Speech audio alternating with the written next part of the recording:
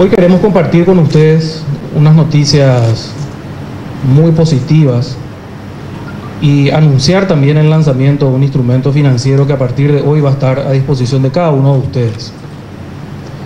Y quisiera hacer algunas reflexiones breves antes de, proceder ya a la firma del convenio y la entrega del primer cheque a una de las pymes beneficiadas, porque creo que vale la pena eh, recordar un poquito eh, cómo iniciamos este, este trabajo de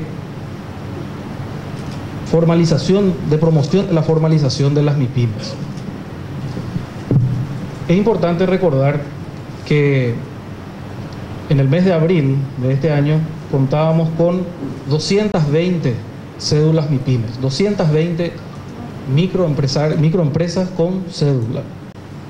El ministro de Industria, Gustavo Leite, nos encomendó la tarea de iniciar una campaña agresiva de formalización, pero con beneficios tangibles para los emprendedores, para los microempresarios.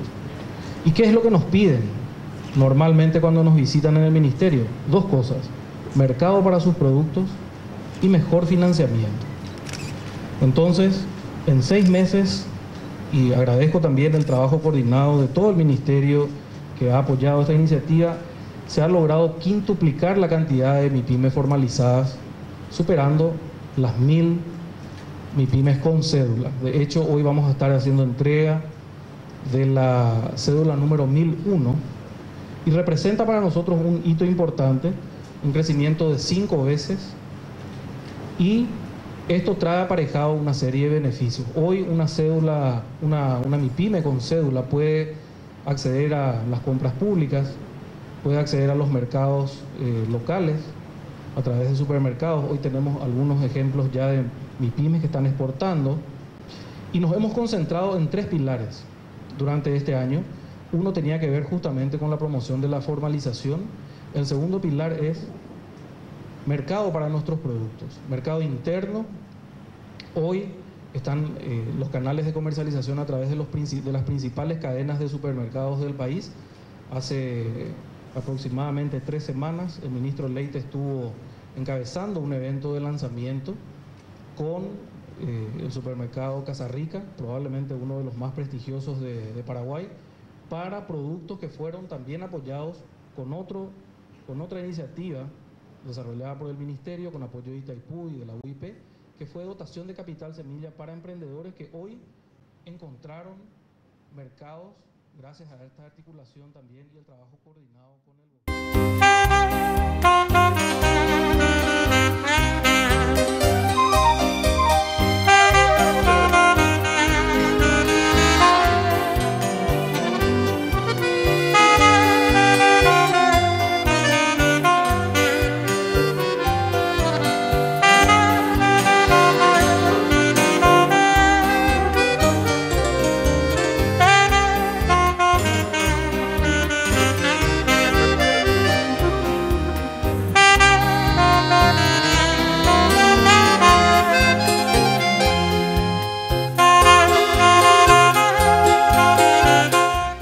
no es fácil el trabajo.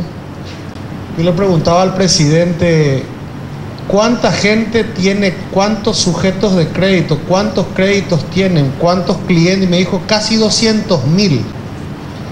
Imagínense lo importante que es para Paraguay.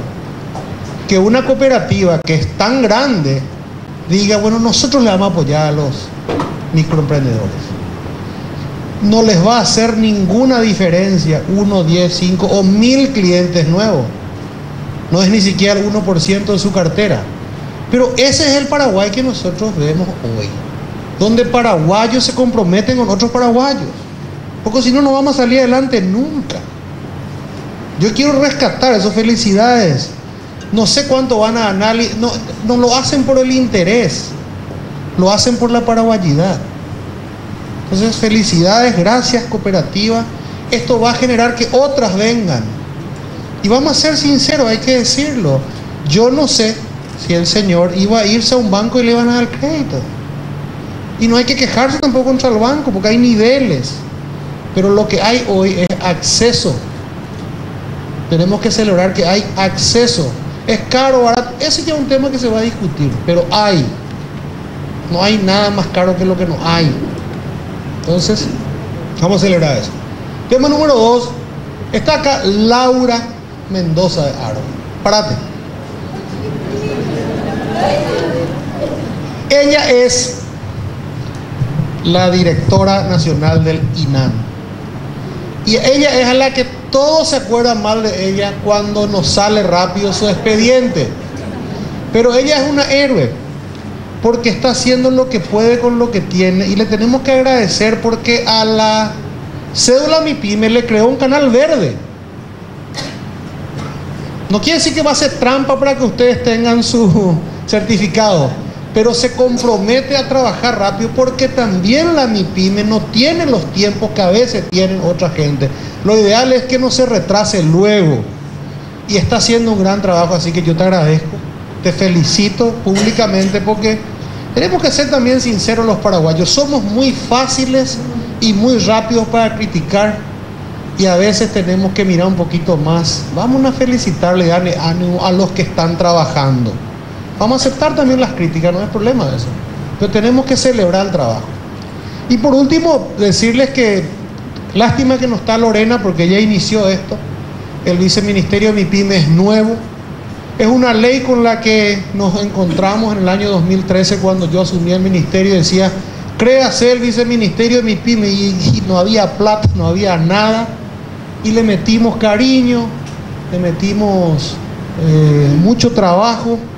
Hoy hay 20 millones de dólares en línea con el BID, hay 8 millones de dólares para fondos de garantía para este tipo de crédito, así que estamos empezando a trabajar. Y si hay mil un cédulas, quiere decir que hay mil un microempresarios paraguayos guapos o paraguayas que se juegan por su idea. Y como dijo el viceministro Bernal, hace tres semanas veíamos que un muchacho jovencito que vino acá con su idea de su miel de abeja, a la que vos le ayudaste a tener rápido su registro, está vendiendo miel de abejas en un supermercado. Y eso es buenísimo, porque él me dice, yo empecé yo con mi primo, ya, ya contraté más gente, ahora ya compré una moto, ahora ya compré un repartidor, y así nomás es el progreso de la gente. Entonces hoy es para celebrar el progreso de los paraguayos guapos. Nosotros como ministerio somos la herramienta de turno nomás. Pero vamos a ponernos metas más ambiciosas, ¿visto? Había 200, hay 1000, vamos a tener 10.000. Necesitamos una marea, un ejército de microempresarios que le despierte a Paraguay y que llegue rápido a nuestro destino de grandeza. No somos menos que nadie. ¿O acaso que hoy no se habla bien de Paraguay en el mundo? ¿Por qué lo que se hablaba mal hace cuatro años y se revierte? Por los paraguayos. Porque nosotros merecemos vivir mejor. Y nosotros como ministerio lo único que vamos a seguir haciendo, lo que sabemos hacer, trabajar. Así que felicidades y gracias a todos. Veo acá gente muy emblemática, un Artemio, veo acá las chicas, las nenas, las amigas de Lorena, gente que siempre está. Y qué gusto ver que siempre, que gente que siempre está pueda ver los progresos. Porque hemos visto las utopías y hoy vemos la realidad. Y nada sustituye la realidad y nada sustituye. La felicidad más grande que tengo que vos lleve 10 millones de guaraníes, que vos tengas acceso a sola firma, algo que era impensado. Piensen 10 años atrás, ¿quién le iba a dar 10 millones a un microempresario en Paraguay? Era una utopía. Pero quiere decir que se puede. No sé quién dijo, quién fue, creo que vos o otro amigo, mi amigo el japonés dijo, se puede. Si uno puede, todos pueden. Entonces, miremos nomás cómo empezaron, y me van a disculpar algunos porque no quiero dar nombres, pero conozco de empresas familiares que quedaban en la avenida Quinta y siguen quedando allí. Hace 50 años empezaban vendiendo pastelitos. Y hoy son unos monstruos. Y conozco como esos 50 historias. Vos a lo mejor le vas a contar a tus nietos cómo empezaste tu empresa y vos también, y a lo mejor dentro de poco vas a tener una industria y vas a tener 100 empleados. Y eso es lo que queremos. Que crezcan, que ganen plata, que tengan dignidad en su trabajo y que nos enorgullezcan a todos los paraguayos.